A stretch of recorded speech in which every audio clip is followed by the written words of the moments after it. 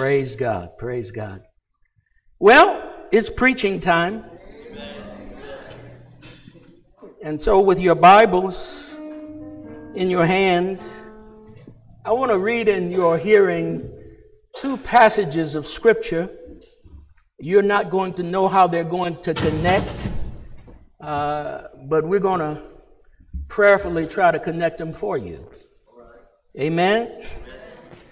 The first passage of Scripture is found in 2 Timothy. Praise God.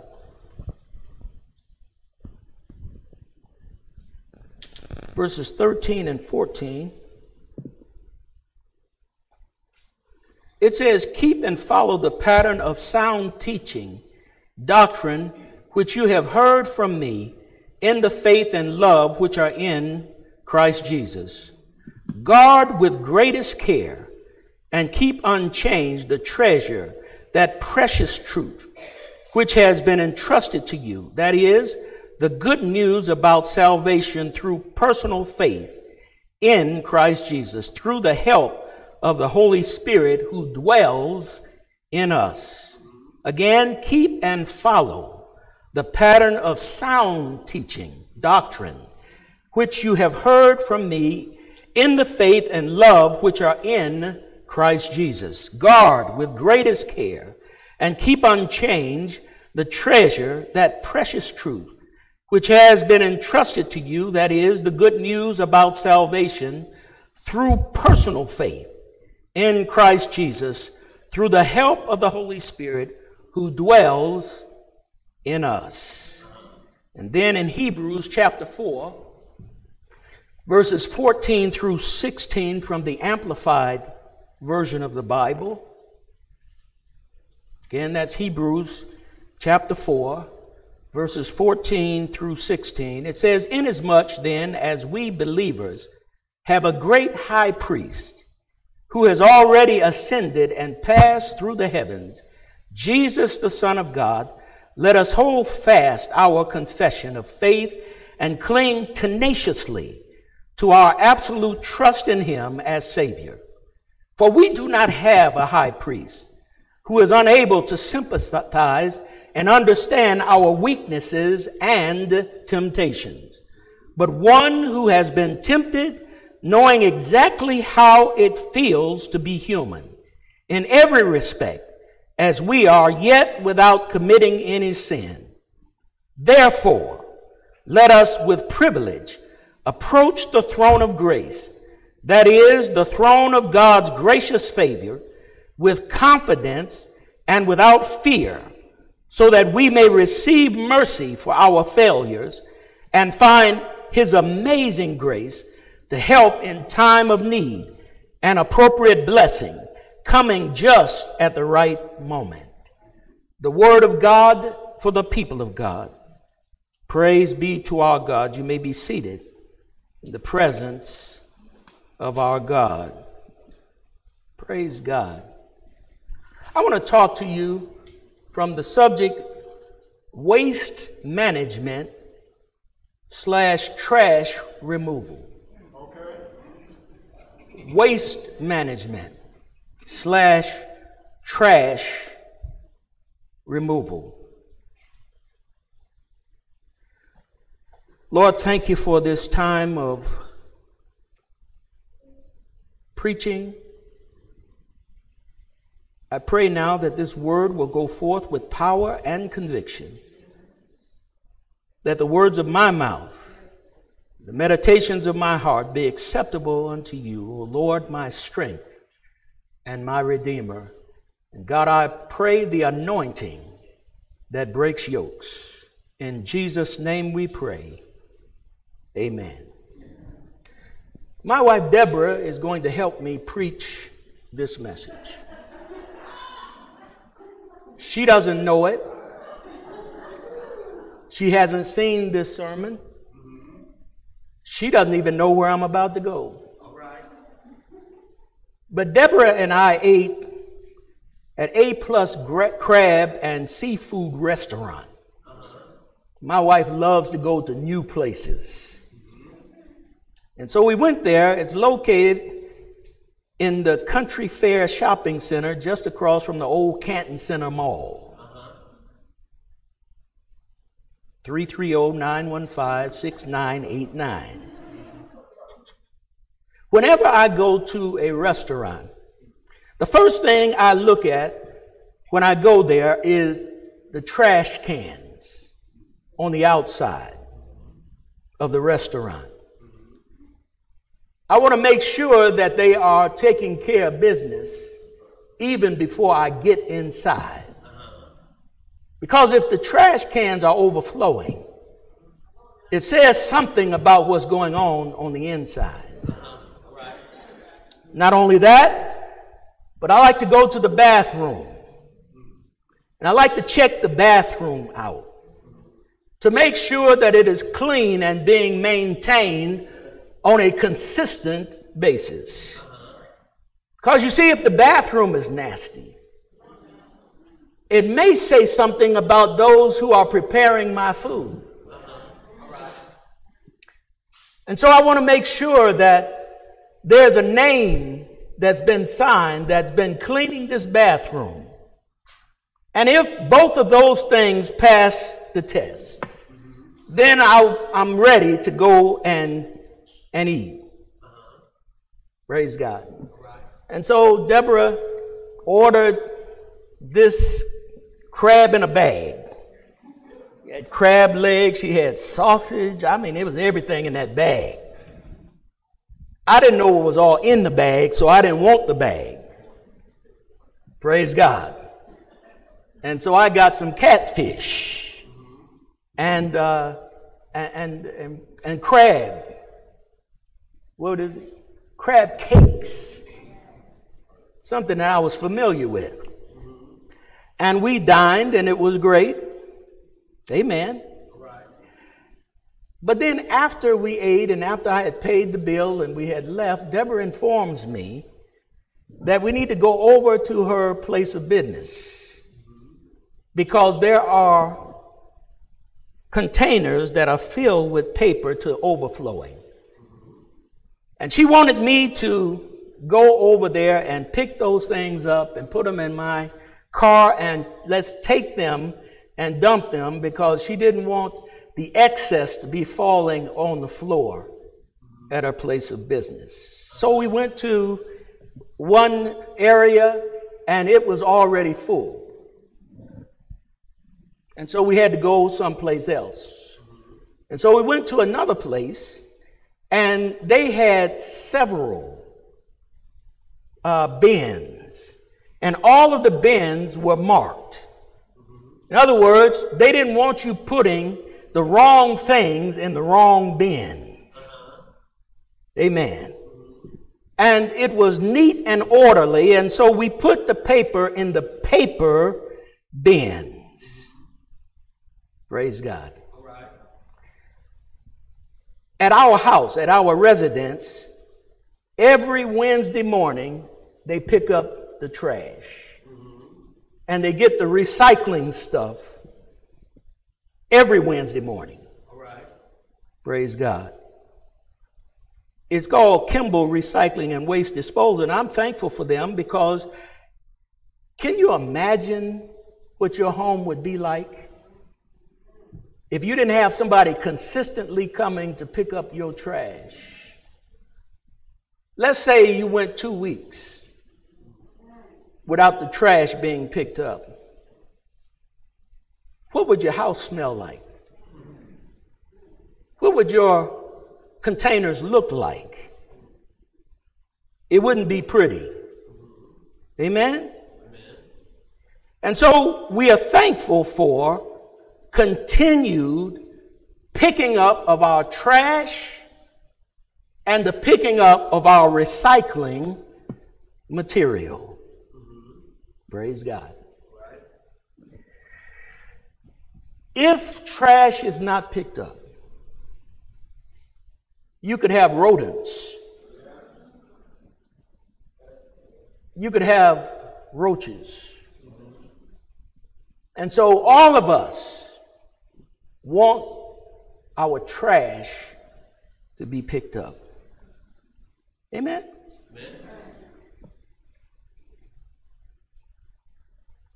God is holy. God is righteous.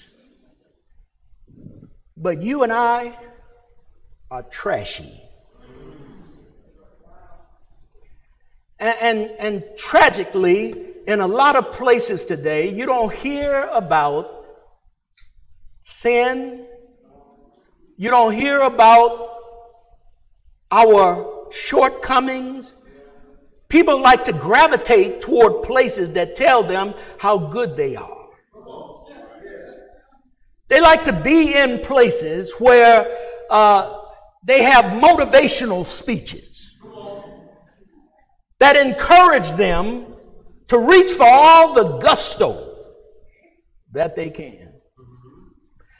We serve such a holy and a righteous God until God cannot stand for you and I to be in a trashy condition. All right. Are you all with me? Yes, sir. And so this morning in Sunday school, we were talking about ordinations of how Moses was instructed to ordain Aaron and his sons for the priesthood. Amen. God wanted Aaron to represent the people before him. Because the people, because of their trashy condition, could not come into the presence of a holy God. And so what God did was he made provisions so that you and I could come and have access to him. But you can't come just any kind of way. The Old Testament, they had a tabernacle. God told them to erect it wherever they stopped in the tabernacle was a holy place. And then you had the Holy of Holies. Now, the holy place was separated by a curtain. Nobody could go beyond that veil but the high priest. Yes. Yes. Why couldn't they go beyond the veil? because God is holy and God demands holiness. Okay, I'm going to repeat that. The God we serve is a holy God, and He demands holiness from us. And so He told Moses to ordain Aaron, and then Aaron had to be purified. Yes. And he had to come a certain way. He had certain garb that he had to wear. There were stones representing the 12 tribes of Israel on his chest plate. So that when he went into the holy place and when he went beyond the veil, hallelujah to the Lamb, he would be in the presence of a holy God. Yes, yes, sir. Now, when he went, and at least one time a year, it's called Yom Kippur, is the Day of Atonement. He would go in to the holiest of holies, and he would take blood from a goat. Now they had two goats, right? They had one goat that they called the scapegoat. And what the high priest would do is he would lay his hands on that goat's head. And symbolically, it represented that God was transferring the sins of the people to that goat. And then they would shoo it out into the wilderness, representing God taking away the sins of the people far away from them. The second goat was killed. And the blood of that goat was then taken into the Holy of Holies. Good God Almighty. Now, most people, say most people, most people. could only go to the outer court. Uh-huh. Uh-huh. The priests could go into the holy place, but only the high priest could go in the holy of holies. Uh-huh. When he went to the holy of holies, there was an ark of the covenant.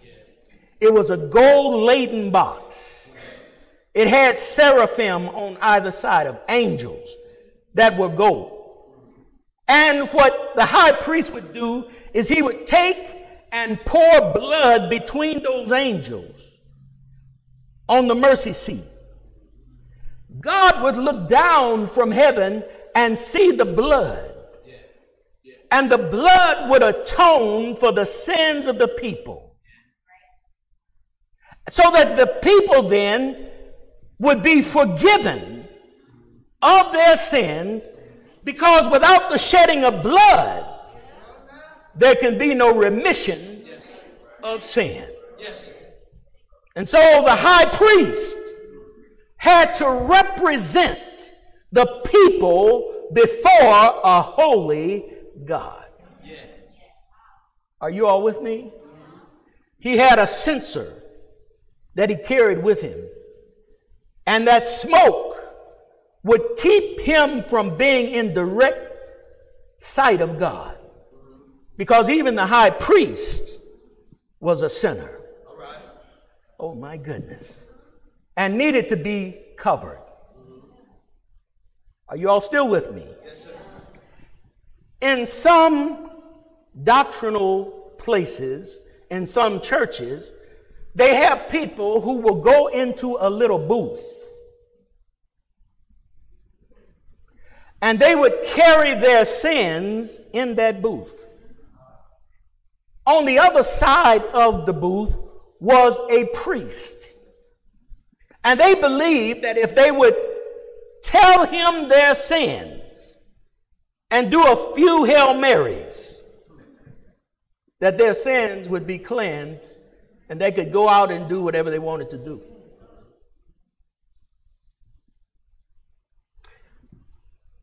That's the Old Testament representation of what happened before the people and God.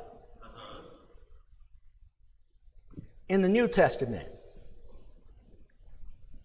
bulls, sheep, and turtle doves wouldn't work.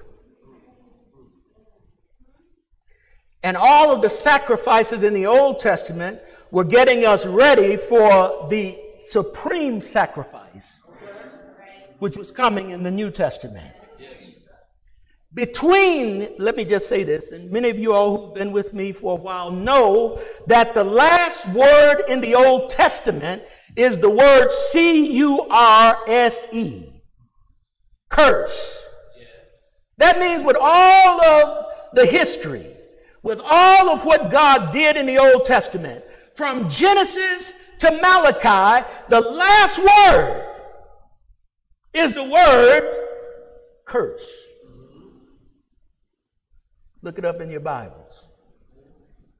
There is 400 years between Malachi and Matthew, and God didn't have anything to say to the world in 400 years. Can you imagine? Not hearing from the Lord for 400 years. But then God breaks his silence.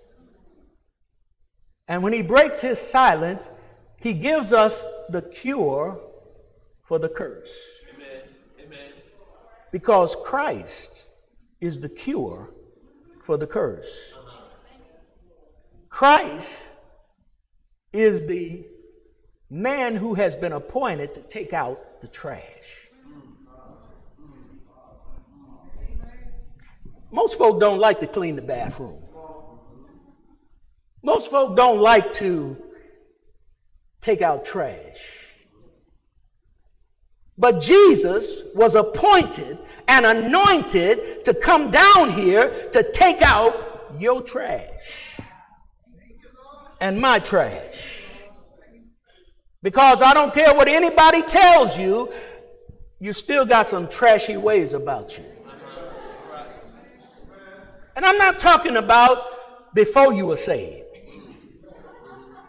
I'm talking about since you have believed. You still got some trashy ways. And every now and then, you'll even surprise yourself. You'll say things or you'll do things. You say, mm, I didn't know that was in me. Because God's got to remind us that we haven't arrived. That yes, we're shooting toward perfection, but we're not perfect yet.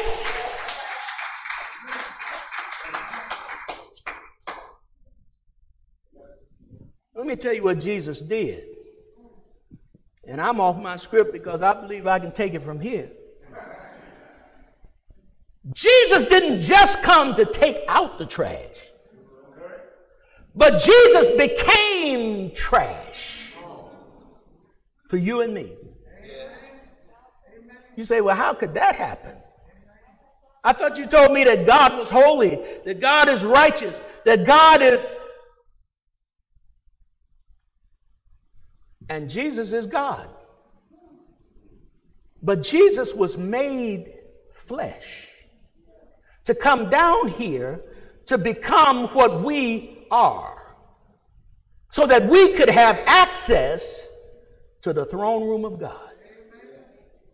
You know, people are so flippant today. They think they can just tell God what to do, when to do it, and how to do it and don't even know that they haven't even entered into the presence of God. Because you got to clean up. Somebody say, We got to clean up. You know what, what's wrong with America? What's wrong with, with every nation on the globe? They're trashy. And that's why nation building don't work because nation building, if you're trashy, all you're doing is spreading the trash someplace else. Uh-huh. I'm about to say something. A lot of churches are into church building. But if your church is trashy and you plant a church that's like your church, it's trashy too. Why is it that we have so many churches in America and America still looks like it's going down the tubes? Used to be a time when we said, In God we trust. We don't say that anymore. Why? Because we've gotten so used to living and being around trash that trash don't bother us.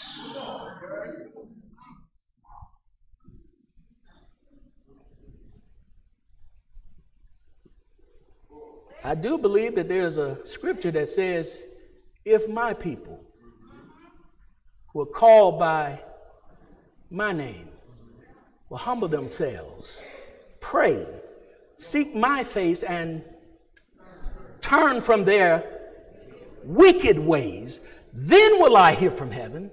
I will forgive their sins and I will heal their land. And so, because we couldn't get ourselves together, Turn to your neighbor and say, Neighbor, you could not get yourself together. We used to say in the 60s, man, get yourself together. We didn't know that he couldn't. If you could have got yourself together, you'd have already been together. People used to tell me, you know, when I get myself together, I'm coming to church. I say, I'll never see you.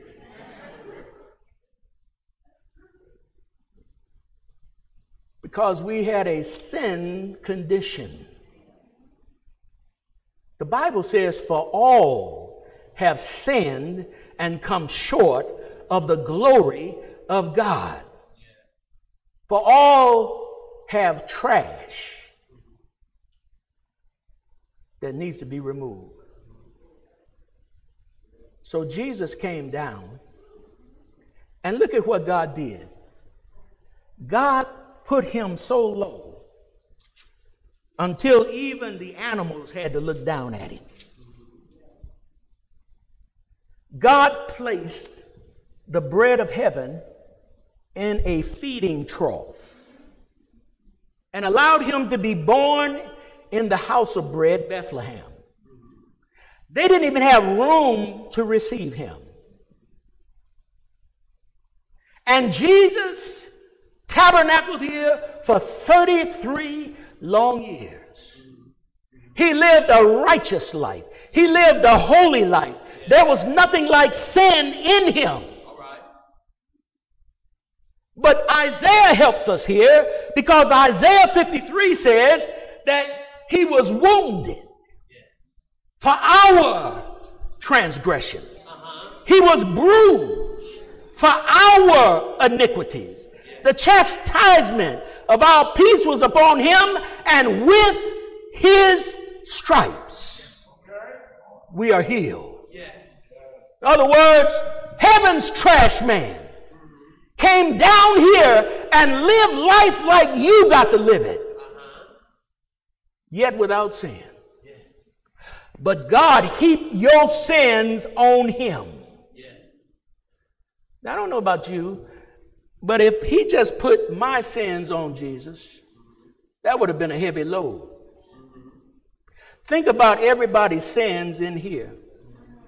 And I'm not just talking about your past ones. I'm talking about your present ones. I'm talking about your future ones.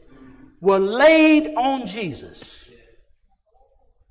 The whole world, sins were put on Jesus. And the weight of the world was on his shoulders.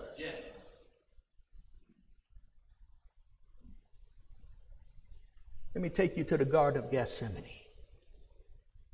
Jesus with all of the weight of sin on him. The Bible said he sweat drops as if they were blood. Many theologians believe that he had so much weight on him until the capillaries underneath his skin burst and he actually bled blood. Jesus fell under the weight and then he looked into the cup and he saw sin in that cup. He saw death in that cup. And he cries out to God, if it be possible, remove this cup from me. Why? Because I have not known sin. I, am not sinful, but yet I've got to represent sin before you because if I don't do it, they can't come to you. Think about if you couldn't go to heaven. Think about if you had to stay down here for the rest of your existence.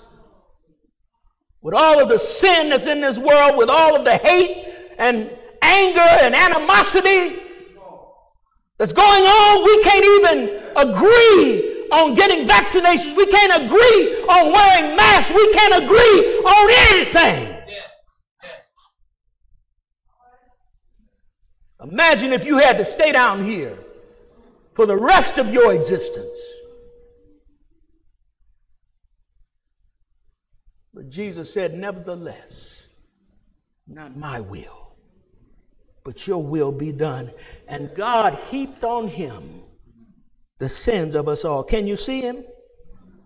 As they scourged him, they beat him so bloody until he had no form nor comeliness that we should behold him.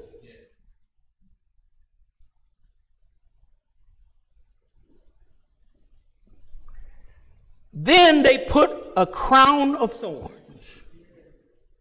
on his head. Why a crown of thorns?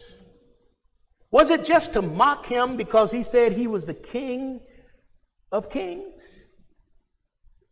Or was it because not only were we humiliated by sin, but even creation is groaning for redemption. And if you go back to Genesis chapter 3, when man messed up, God cursed the ground and said, Thorns and thistles will grow. And so now Jesus, who has become the trash collector, is wearing the curse on his head because not only has he come to redeem you, but he's come to redeem all of creation. They marched Jesus up a way called the Via Dolorosa. And when they got him up on Calvary's hill, they put nails in his hand. They pierced him in the side. They put riveting in his feet. They should have left that cross down. Because I heard Jesus say, if I, if I be lifted up from the earth, I'll draw all men unto me. And Jesus hung, he bled, and ultimately he died. Now, if you're still with me, I want to tell you how good Jesus is. Jesus was the sacrifice, He's the lamb that takes away the sins of the world.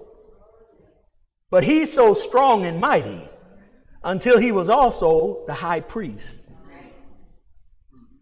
Oh, y'all didn't get that. Jesus was the sacrifice. And in the Old Testament, the high priest took the sacrifice into the Holy of Holies. But Jesus is greater than Aaron. He's greater than all of the priests that have preceded him, that he was not only the, the sacrifice, but he's also the high priest. And so what did Jesus do? He took himself not to the holy place, not to the holy of holies, but he took himself to the holiest of holies and poured his blood before God. And God looked at his blood and somebody said, There is a fountain filled with blood drawn from Emmanuel's vein where sinners plunge beneath the flood, lose all their guilty stain. The dying thief rejoiced to see that fountain in his day, and there may I, though vile as he, wash all my sins away. Yes, yes, at the cross, at the cross where I first saw the light and the burdens of my heart rolled away, it was there by faith.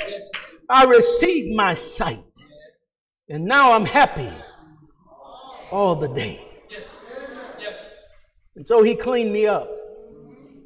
Did he clean you up? Have you been redeemed? Have you been washed in the blood of the Lamb? Well, I got some good news for you. If you've been washed in the blood of the Lamb, God has made you a kingdom of priests. That you can come boldly to the throne room of God and make your petitions known unto him. You don't have to go to a priest. You don't have to go to a rabbi. You don't have to go to a preacher, but you can go to the throne room yourself and get on your daddy's lap and tell daddy everything that's going on in your life. And because Jesus paid the price, yes, sir. Yes, sir.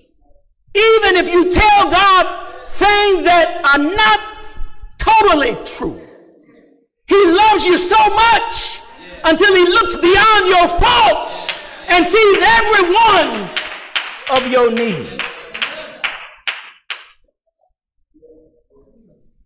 Now, I'm almost finished. Some people believe that just because you've been born again, that you don't need to be cleansed anymore. Some people think that just because you took out the major trash, that you don't have any trash left. Can I tell you something? You still get it wrong sometimes. I don't care how much Bible you know. I don't care how close you think you walk to the Lord. Just like you got to put your garbage out every week, we got to put our garbage out every day and say to God, I'm sorry. And if you confess your sins, He is faithful and just to forgive you of your sins and to cleanse you from all unrighteousness. I don't need anything between me and God. That's why I've learned how to confess my sins. I've learned how to tell God I'm sorry.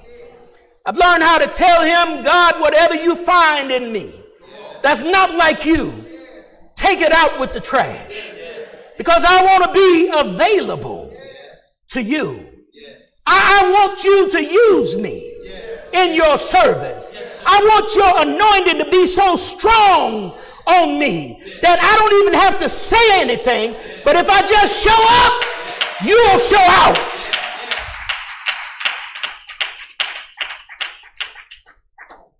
That's what God requires today because maybe He's brought you to the kingdom for such a time as this. That in these dark days, God needs a shining light who understands that even though I got light, I still need to be cleansed. I still need to be refreshed. I still need to be renewed. But thanks be to God that Jesus paid it all. All to him I owe. Sin had left a crimson stain, but he washed it white as snow. Philippians chapter 2 says that, that he thought it not robbery to be equal with God, but made himself of no reputation and became a man, a doulos, a servant, a trash collector, and became obedient unto death, even the death of the cross. Wherefore God hath highly exalted him yes, and given him a name which is above every name. Yeah. Listen, I don't care what other name you've been calling. I don't care if you call Sweet Daddy Grace, a Father Divine, a Hare Krishna, or Muhammad, or any other name. There is no other name given under heaven whereby we can be saved but the name of Jesus. And one of these days, one of these days, every knee shall bow of things in heaven, of things on earth, and of things under the earth. And every tongue must confess that Jesus is Lord to the glory of God the Father. Hallelujah.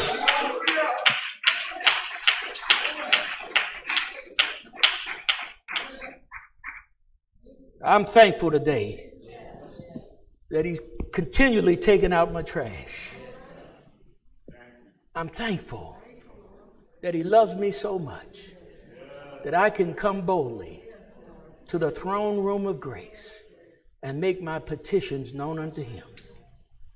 And God will give us the desires of our heart. Can I say one more thing to you? Yesterday evening, when we were in the mall, and they didn't start when they thought they were going to start, I felt a mist. I felt that there was rain in the atmosphere. You know, rain and mics and electrical devices don't go together. But because God made me a priest, I commanded that the rains hold back. I didn't say I asked for it, I commanded it. Why? Because I'm a priest. And I ask God to change the atmosphere. And there was a, a buzz in that place and such an anointing in that place that we had church outside. Listen, don't wait till the battle is over. You can shout now. Because we know in the end, we win. Hallelujah! We're winners. We're overcomers. Praise God.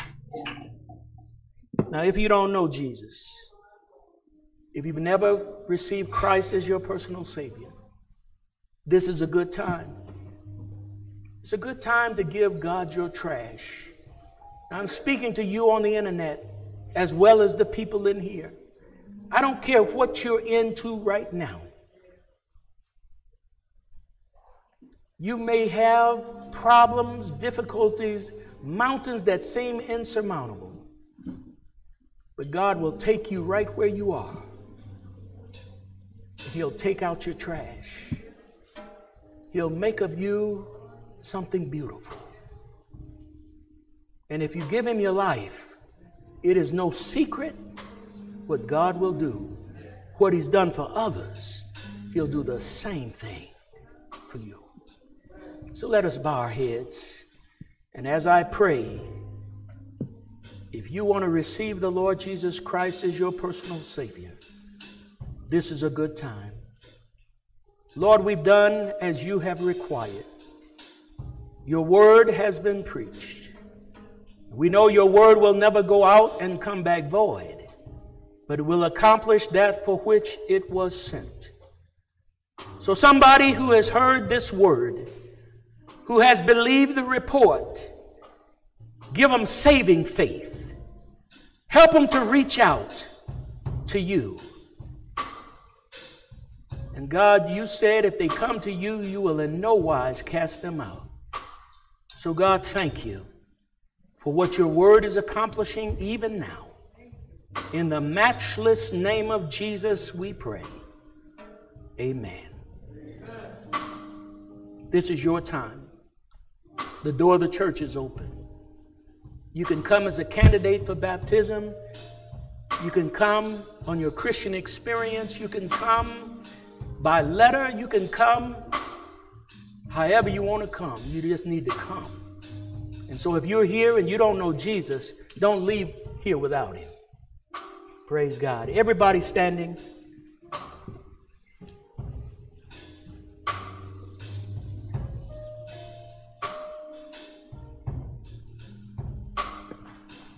He's all tried my Jesus, He's all right. Have you tried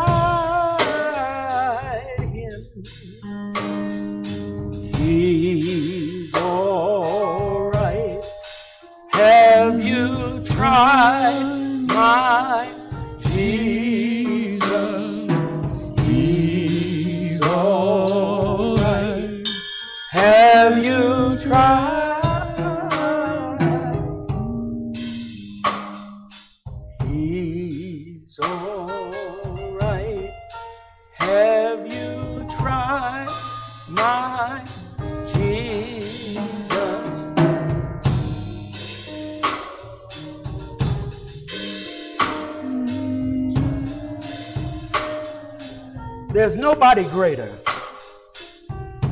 Nobody greater. Your love is like any other. My heavenly Father, you live in me. Nobody greater. Nobody greater. Your love.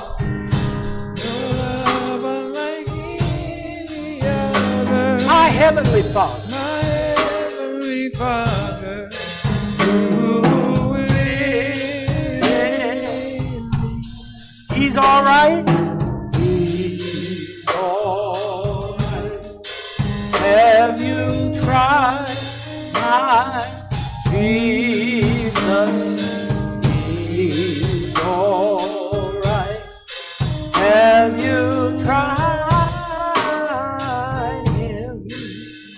Nobody greater. Your love, like any other. my heavenly Father. My heavenly Father, You live in me. Nobody greater. nobody greater. Your love, unlike any other. My heavenly Father. My heavenly Father, You live in me. you live in me. Just one more time, he's all right.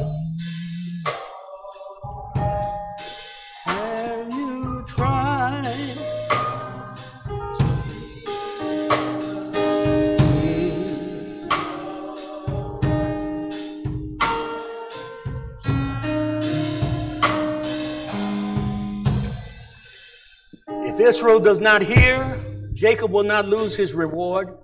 But we who preach know the terror of God and persuade men and women to come to Christ. God does not will that any should perish, but that all should come to repentance. You need to come while it's coming time. Because one of these days is going to be all over. And you don't want to meet the Lord with your trash. Praise God. It's time for us to partake of communion. For those of you who are at home, uh, if you can get your crackers and get your juice. Those of you who are here in the house, if you need elements, if you just let them know, one of our greeters will make sure that you you get your elements. Praise God.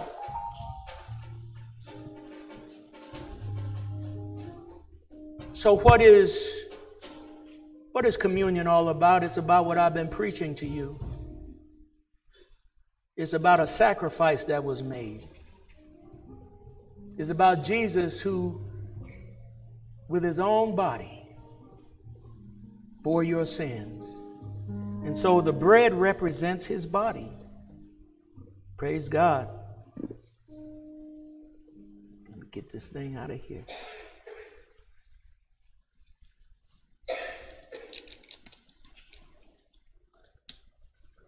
Take, eat. The, the wine represents his blood. Blood that was shed for you. Take, drink.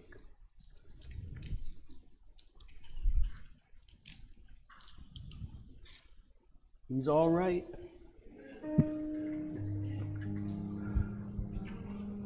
I don't know what God gives us when we take communion, but whatever heaven's got, I want it. Amen. Whatever heaven's got, I want it. Praise God. You may be seated. Thank you, Deborah, for helping me preach this sermon. See, you all don't know when I go home, I pay for everything, even when I don't ask her to assist me. She's all right. we praise God for her. I still remember what you said, Doris. It's just 41 years late. Praise God. oh my God. Is um is Kim here? Who's doing the announcements? All right, come on up. Come on up. Praise God. Y'all say amen for Tomir. Bless you. Good morning, church. Come on, we can do better than that. Good morning, church. Um, it's now time to give. You can do that in a multitude of ways.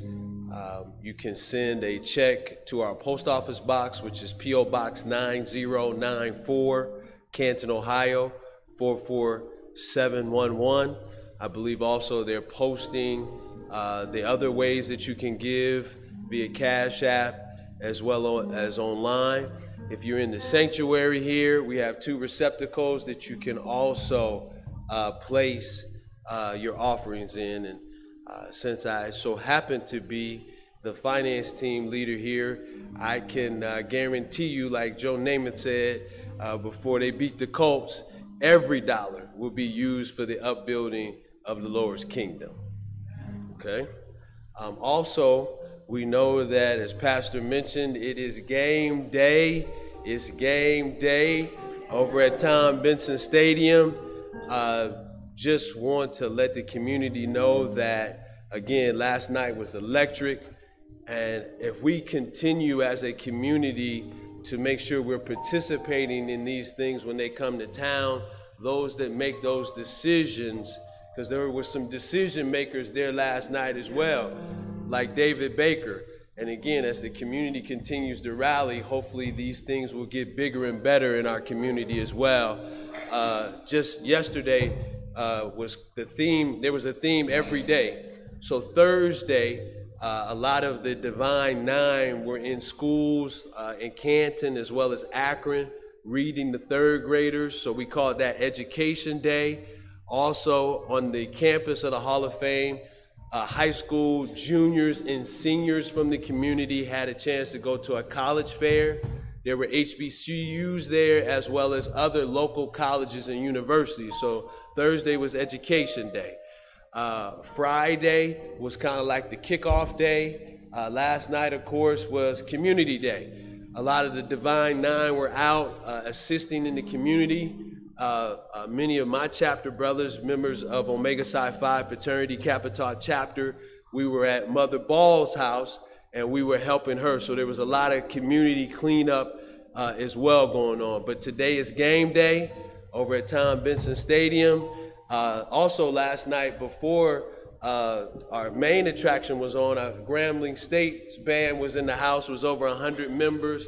We had young people from enrichment and others on the stage last night as well. So, but today, game day, the pageantry that is HBCU will be on full display. The Battle of the Bands at halftime, oh and goodness. then there's also going to be a fifth quarter where you'll get some more of both of those great bands. So again, enjoy it. If you haven't bought your ticket, my understanding is there should be more than 12,000, 11,000, 12,000 folks in the stadium. I still got folks saying, hey, I need tickets.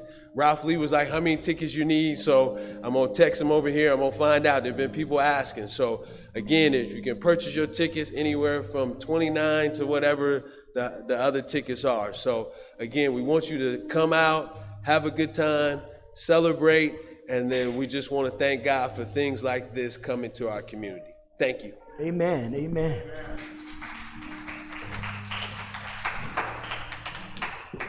I wasn't as proud um, at any other time, I don't think, as I was last night to see all of our folk getting together. Wasn't no cussing, wasn't no drinking. Wasn't no shooting. And we had a great time, and guess what? It would be great if that had been in the news. Yes, sir. Yes, sir. Because sometimes people always gravitate toward the negative. Yes, yes. They need to show the positive. Amen? Because there's enough trash to go around in every community. That's right. Oh my goodness. See, when you come here, it's, it's like a box of chocolates. You never know what you're going to get. Amen? But you will get truth. Praise God. Thank you, YouTube and Facebook, for joining us. We are ecstatic that you were with us today. Come back and be with us on next week when we will again go to God's Word. God bless you and may heaven smile upon you, is our prayer. God bless.